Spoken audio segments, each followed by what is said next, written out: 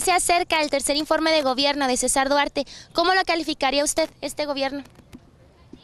Pues, ¿qué le diré? Que lo calificaría como muy participativo de la gente. Ha tenido mucha participación de todos los que lo hemos elegido, ¿verdad? Y esperamos que rinda buenas cuentas. Pues, ¿qué otra cosa vamos a esperar, verdad?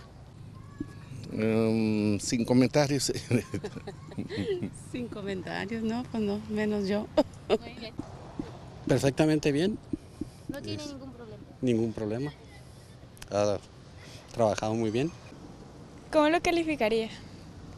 Bueno, pues en general la política para mí se me hace que es un sistema que no funciona ya. Y no sé, todos los políticos prometen demasiadas cosas y a lo mejor tienen buenas intenciones, pero no. ¿Y tú? ¿Cómo lo calificarías? Eh, pues no, no me gusta la verdad. Y no creo que ninguno tenga buenas intenciones. Las buenas intenciones sobresalen de todo lo demás. Y No es cierto. el para mí es puro corrompe. interés económico, así que no.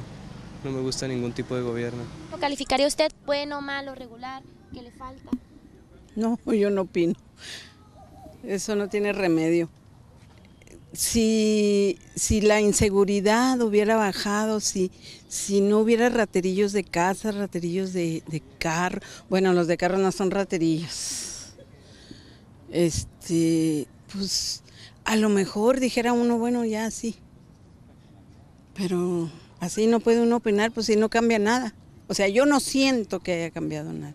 Bueno, pues en realidad ha tomado muchas decisiones erróneas, como, por ejemplo la de la presa Rejón, que ¿cuánto fue? 110 millones de pesos. O sea, inundados bajo el agua y, y luego todavía quiere vaciar la presa, o sea, eso está mal. Entonces, yo que... Sí, o sea, todavía estamos en sequía. Entonces yo opino que, o sea, César Duarte no ha hecho un muy buen trabajo, por así decirlo.